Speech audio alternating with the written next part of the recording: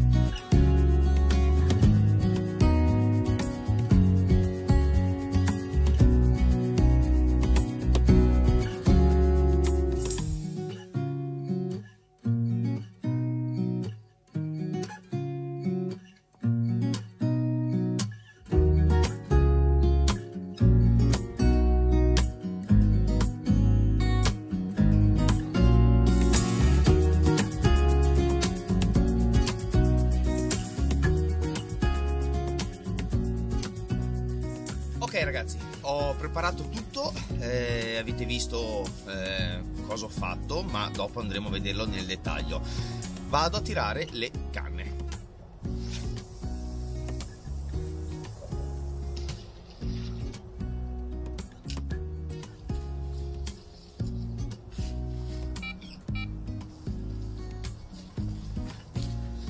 Ok, allora, intanto regolo un attimo, così almeno riesco a vedermi. Prima canna tirata, eh, tutta sulla sponda opposta perché comunque dovrebbe esserci l'acqua un pochettino più bassa, quindi spero che si sia riscaldata prima quella sponda, mentre questa qua la andrò a tirare dritto davanti a me. Eh, non sto pescando chissà quali distanze, eh, 40 metri massimo, però eh, sono fiducioso perché l'acqua così cristallina qua non l'ho, non l'ho, ancora potuta vederla perché non siamo mai venuti nei periodi quelli di gennaio, febbraio, quindi eh, sono veramente fiducioso. Adesso tiro questa e, e poi facciamo altre due chiacchiere su, su, come approccio la sessione adesso e come voglio approcciarla se vedo che non succede niente.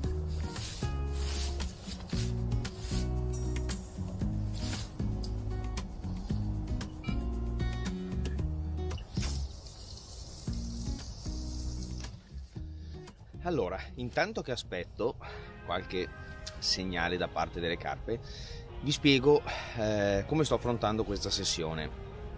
Questo perché eh, voglio rispondere a un po' di domande oggi anche che mi avete fatto, ci avete fatto sui social, eh, in particolare su Instagram appunto. E, ehm, tanti di voi mi chiedono, ci chiedono, eh, dico mi perché sono da solo, mi manca il mio braccio destro eh, ci chiedono come si può affrontare eh, uno spot di pesca e ultimamente tanti ci state chiedendo ehm, come affrontare qualche cava che c'è nel, nelle vostre zone nel periodo invernale. Allora, nel periodo invernale sappiamo tutti che eh, potrebbe essere controproducente effettuare grosse pasturazioni eh, in fase di pescata, ok? Quindi non sto parlando di pasturazione preventiva. Come affrontiamo noi, o meglio, oggi come affronto io questa sessione? Eh, molto semplice. Come avete visto ho preparato delle bombette, eh, non sono riuscito a prepararle la sera prima che avrei potuto farlo. Questo per rispondere a un'altra domanda. Sì, si possono preparare la sera prima, anche due sere prime le bombette, non, eh, non ci sono grossi problemi. Eh, molti magari potranno obiettare sul fatto di usare sfarinati o cose che possono andare a rovinare l'amo se rimane dentro, però se si preparano due giorni, un giorno prima, la sera prima, non, eh, non dovrebbe succedere niente. Detto questo, come affronto la sessione? semplice, bombetta in PVA, dentro ci ho sbriciolato qualche boilers appunto che avete visto col cruscia eh, nel sacchettino in PVA, un po' di pellet ovviamente al pesce perché non c'è grossa presenza in inverno di pesce di disturbo. Sto usando come rig due spinner rig, due spinner rig perché mm, sapete sono un amante delle presentazioni pop-up e mm, non, non, c'è un periodo ideale secondo me per usare uno spinner piuttosto che un affondante. Io quest'anno concentrerò molto le mie sessioni sull'utilizzo di pop-up. Ehm, poi ovviamente bisogna anche adattarsi un attimo a quello che è il posto. Se eh, andiamo sul lago dove le pop-up non vengono apprezzate, cambio di tattica, non c'è nessun problema. Quindi spinner rig, spinner rig che ho ehm, montato innescando due boilers eh, pop-up che avevo ehm, dentro gli infusa con eh, i Go praticamente da mesi e mesi questo che cosa fa succedere però? Che il Go andandosi a impregnare tanto nella pallina non la rende più pop-up al 100%, quindi ultimamente sto iniziando a correggere quelle piccole cose che però mi permettono di pescare nel modo migliore. Come avete visto nel video precedente eh, alle giarrette, eh, utilizzo un sughero, eh, trapano mh, mm, tramite appunto il trapanino eh, la boiless, ci metto dentro un pezzettino di sughero e la rendo nuovamente pop up al 100%. Però è impregnata di, di, Go e quindi lavora diversamente se, se, appunto non fosse impregnata di Go, quindi sprigiona tutta la sua potenza. Quindi la sessione oggi è una sessione molto semplice, eh, ho scobrato qualche pallina giusto per andare vicino all'innesco e fare un piccolo tappetino, ma nulla di speciale. E quindi come affronto una sessione invernale? Così ragazzi, non eh, esagerando con la pasturazione, quindi una ventina di palline sparse intorno all'innesco, una, un sacchettino, una bombetta in PVA e eh, un rig che potrebbe essere io in questo caso pop-up, ma voi potete mettere dentro un rig affondante. L'unica cosa, l'accorgimento è non fare lo spezzone del rig troppo lungo perché deve starci nella bombetta, quindi si parla di un 10-12 cm massimo. E niente, sono fiducioso, ripeto, perché c'è veramente un'acqua stupenda. Eh, se riesco dopo, ma mh, mm, purtroppo oggi il tempo è coperto, come vedete non, non, c'è sole, ma c'è nuvole e nebbia, quindi non so se poi si riesca a vedere bene l'acqua cristallina che c'è, però veramente il, riesco a vedere tutto il fondale qua davanti a me. Questo mi potrà anche facilitare eh, quando devo andare a inguadinare un'ipotetica carpa e appunto non, non uso neanche i tendifilo oggi perché vedo benissimo dove può andare la carpa e se va sopra o sotto l'altro filo niente eh, la sessione prosegue io mi siedo un attimo faccio qualche piccolo accorgimento per come ho detto prima un eventuale cambio di eh, programma ovvero vado a prepararmi un piccolo stick mix invece che usare il pellet dopo e, e provo a vedere se può fare la differenza però sono fiducioso che così come sono sono in pesca al 100% devo solo aspettare che le nostre amiche rispondino. E basta niente andiamo avanti dai dai che ce la facciamo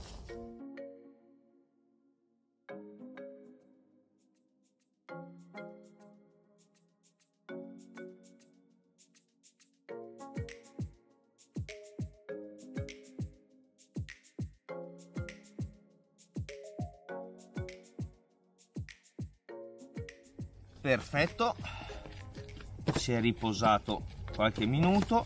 Adesso vado a inserire il tutto. E prepariamo non chissà quanto grandi ragazzi eh, perché comunque ripeto il periodo non, non prevede massicce pasturazioni sia a livello sull'innesco sia a livello di pasturazione vera e propria quindi vado a fare uno stick di qualche centimetro ma non voglio esagerare. Anche perché come diceva il caro buon vecchio Oscar Brugger se lo faccio troppo lungo e la carpa mi va a mangiare da destra a sinistra eh, se poi la boiler è qui e c'è tanto così di stick può essere che si perda via eh, succede qualcosa sott'acqua non arriva la boilers quindi avendo un qualcosa di più piccolino riusciamo a eh, cioè perlomeno ci proviamo a ingannarle nello stretto e non nel lungo ok? Così non vanno a disperdersi troppo di attenzione o cos'altro. Adesso vado a chiudere. Io avrei anche una sedia per sedermi ma non ho voglia ragazzi. Quindi sto in piedi. Ok perfetto. Là. Ed eccolo qua ragazzi. Eccolo qua ovviamente serve un ago da stick perché se voglio fare le cose fatte bene farò passare il mio terminale poi dentro lo sticchettino tiro fuori tutto e la boilers rimane qua vicina e qua esce il cappello del terminale. Adesso me ne preparo finché non lo finisco e, e basta. Fra, fra poco cambio tattica e vedo se succede qualcosa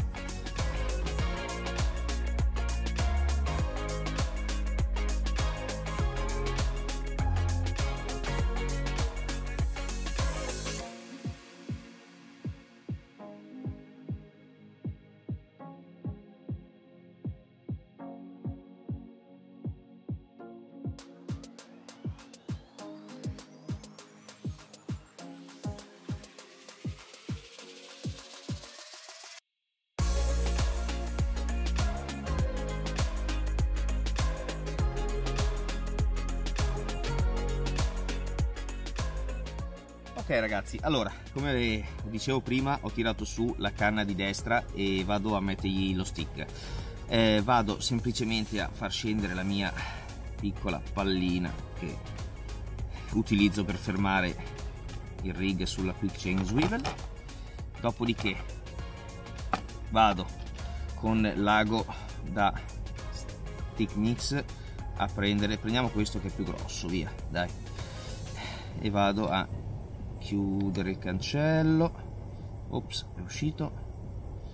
Ok perfetto. Allora quasi quasi però io la pallina la faccio uscire e la rimetto dopo così facciamo le cose fatte bene. Tac. Ok vedete? Sto praticamente facendo uscire il mio rig. Adesso poi lo vado a ancorare sul mio stick. Ok una volta che poi si scioglie il rig è libero e e libero anche l'amo. Adesso vado a rimettere la mia perlina in modo che poi vado a bloccare tutto sulla quick chain swivel. Tac. Oppala è arrivato un messaggio intanto. Oh là! Perfetto ragazzi. Ok così si presenterà l'innesco e anche antigroviglio. Adesso non mi resta altro che è arrivato un altro messaggio scusate non mi resta altro che rimettere lo stesso. Oh che bello. Ok sporco un po' ma chi se ne frega. Perfetto. Ok. Adesso questo è pronto e io vado a tirarlo. Speriamo bene. Pronti per il tiro ragazzi? Procedo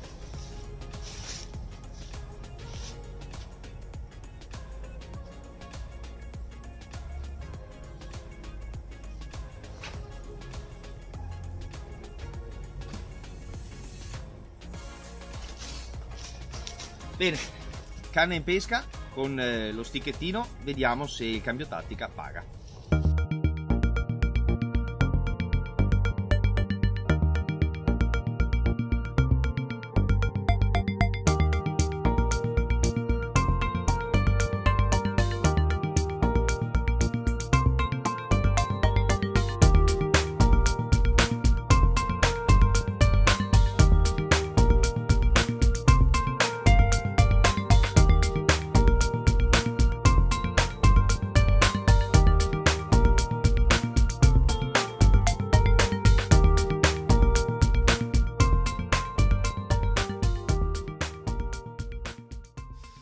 Allora ragazzi, eh, ancora niente, ancora niente e vabbè me lo aspettavo d'altra parte. Eh, tanto freddo, quindi l'acqua sarà veramente ghiacciata e non so quanto le nostre amiche vogliano mangiare. Comunque niente, ci provo fino all'ultimo eh, e basta. Speravo sinceramente in una partenza nella mattinata, ma niente, qualche bip sulla canna di destra, poi sulla canna di sinistra, ma poteva essere anche magari qualche tinca che andava lì a sbeccottare su, sul pellet. Peccato perché, non so, avevo la convinzione che oggi un pesce sarebbe venuto fuori. No, non importa, adesso vediamo di finire la sessione, magari proprio all'ultimo, come sempre succede, stai per mettere via le canne, ne tiri via una e fatalità sull'altra parte. Quindi a volte bisogna anche indovinare quale canna tirare via prima. E niente, mm, peccato, peccato, però vabbè, il periodo lo sappiamo, non è generoso. Non importa, non importa. Andiamo, andiamo avanti, dai, provo a ritirare su una canna e rivedere un attimo quella che ha suonato, rivedere un attimo se l'innesco è tutto ok per non essere fuori pesca magari nel momento giusto. Bene, a dopo.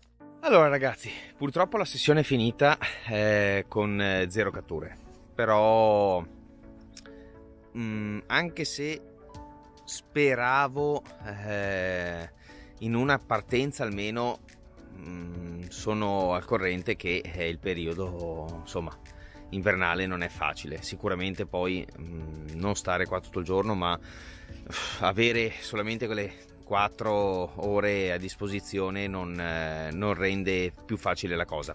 Non importa, eh, spero che comunque il video sia piaciuto e ehm, con l'occasione appunto ho risposto a un po' di persone che appunto mi avevano fatto alcune domande. Sono contento sicuramente di una cosa che sono stato al caldo, sono stato tutto il tempo seduto fuori sulla sedia e non ho patito il freddo, quindi per me questo è già qualcosa da, da menzionare perché gli anni scorsi, ripeto, non, non essendo attrezzato bene, anche con il giaccone, quello grosso, a volte veramente il freddo si faceva sentire sono felice che finalmente ho trovato il mio assetto per quanto riguarda il vestiario. E detto ciò, finisco di smontare l'ultima canna, una l'ho già messa via. Come al solito faccio una alla volta perché spero sempre in una cattura nel finale e basta, eh, ci riproverò sicuramente eh, perché ehm, non bisogna mai arrendersi. Tanti di voi mi chiedono continuamente se conviene cambiare posto piuttosto che approccio diverso nel car fishing, nella pesca è così, eh, bisogna avere pazienza, bisogna non, non demordere, mm, costanti, i risultati prima o poi arrivano, lo sapete, e basta, oggi è andata male, un altro cappotto che si aggiunge alla collezione dei tanti che ormai in questi anni eh, ci siamo portati a casa, però l'importante era stare fuori anche all'aria fresca, lontano da quella che è la routine quotidiana, quindi solito lavoro, casa e basta così sono contento lo stesso. Ci vediamo nel prossimo video, non so ancora dove, anche se eh, comunque come, eh, come detto in passato batteremo forte il fiume quest'anno. Niente, non mi resta che salutarvi ragazzi e augurarvi una buona giornata o una buona serata. Ciao!